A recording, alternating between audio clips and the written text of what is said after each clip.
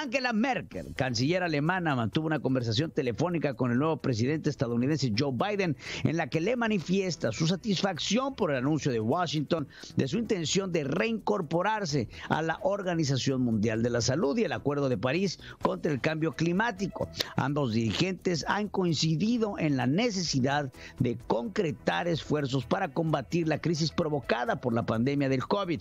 Biden y Merkel también han abordado cuestiones de política exterior tales como Afganistán, Irán o el comercio mundial. Angela Merkel invita a Biden a visitar Alemania cuando se levanten las restricciones por la pandemia.